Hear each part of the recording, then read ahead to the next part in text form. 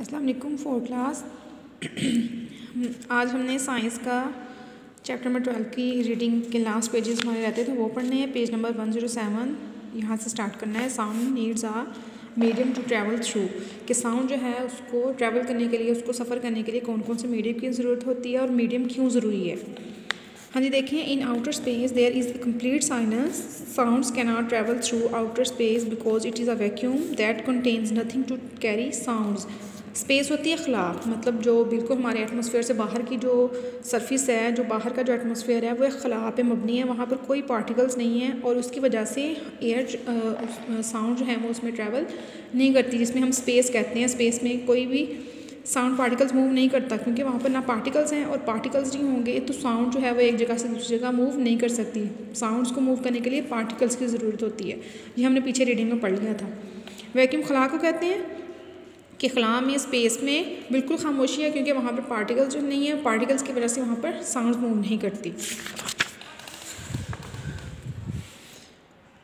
The air through which sound travels is called a medium वो air वो हवा जिसमें से साउंड ट्रैवल करती है, उसको हम मीडियम कहते हैं, उसका ज़रिया कहते हैं कि उस ज़रिए के ज़रिए जिस रास्ते से वो मूव करती है a medium can be anything a liquid such as water a solid such as a wall और a gas such as air अब मीडियम जो है वो किसी भी किस्म का हो सकता है, वो सॉलिड भी हो सकता है, वो लिक्विड भी हो सकता है, वो गैस की फॉर्म में भी हो सकता है। लिक्विड में वाटर या और लिक्विड्स आ सकते हैं सॉलिड में वॉल या गैस एयर मतलब जब हम बोलते हैं तो हम हवा के ज़रिए पार्टिकल्स मूव करते हैं, ये एयर है।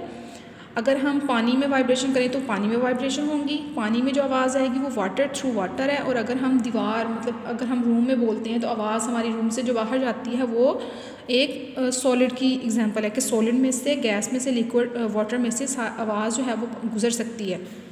Sound travels faster in solid sound जो है वो सबसे ज़्यादा स्पीड में सॉलिड से गुजरते हैं then in liquids and most slowly in gases solid में साउंड की आवाज़ सबसे ज़्यादा होती है।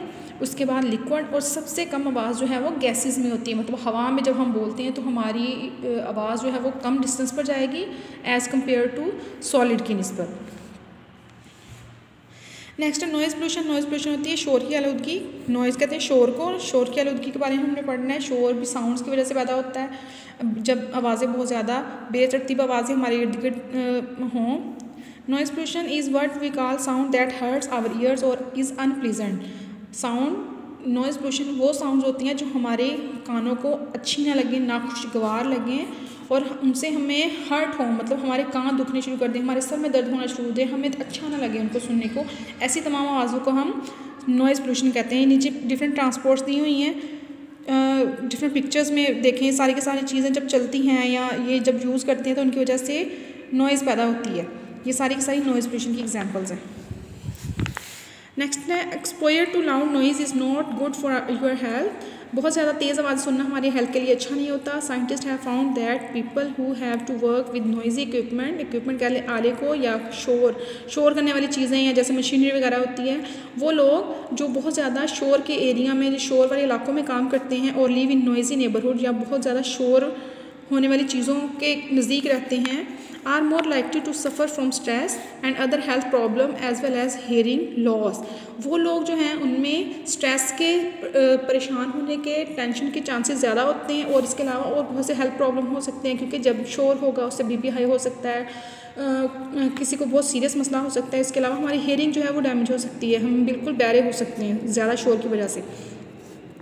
They have also found out that children learn better in quiet environments और ये भी हम जानते हैं कि जब क्लास में, जैसे अगर हम क्लासरूम की एग्जांपल लें, अगर क्लास में शोर होगा तो हम अच्छी तरह से नहीं पढ़ सकते, लेकिन अगर क्लास खामोश होगी तो हम ज़्यादा अच्छी तरीके से पढ़ सकते हैं। क्वाइट इन्वायरमेंट में, खामोश माहौल में, पुरसकून माहौल में हम ज़्यादा अच्छी तरह से लर्न कर सकते हैं।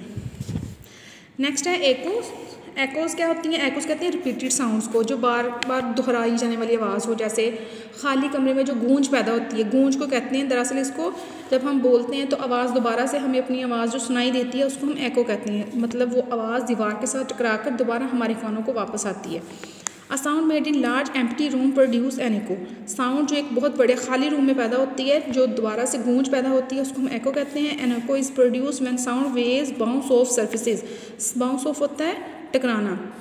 एको तब पैदा होती है जब आवाज़ जो है वो दीवारों के साथ जाकर टकराती है और वापस हम तक आती है। When there are any are many objects in the room अगर रूम में बहुत ज़्यादा ऑब्जेक्ट्स होंगे, चीज़ें पड़ी होंगी, और there are lot of soft materials like cloth cushions E T C the sound waves are absorb and do not bounce back अगर कोई भी रूम है जिसमें चीज़ें पड़ी होंगी, जैसे फर्नीचर वगैरह हो या कर्टन्स हों इस तरह की चीज़ें पड़ी हों तो वो आवाज़ें उनको जज्ब कर लेंगी। तो तब आवाज़ बाउंस बैक नहीं होती, तब हमें वो आवाज़ रिपीट होती, सुनाई नहीं देती।